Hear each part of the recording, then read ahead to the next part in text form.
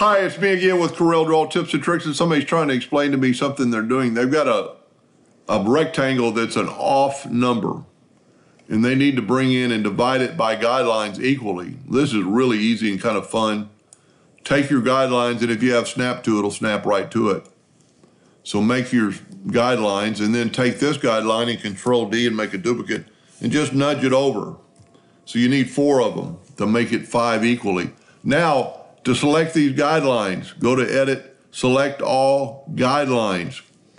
Go up to Object, Align and Distribute, Align and Distribute, which is Control Shift A. And right here, distribute center horizontally.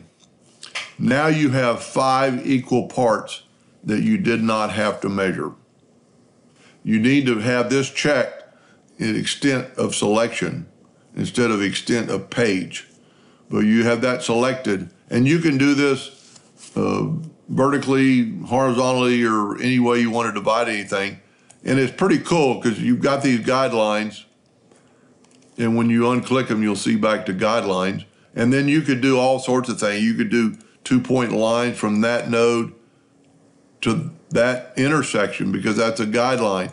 So if you were doing stuff like this and this is why you needed it, it would help you draw to that intersection if that's your the reason for your guidelines.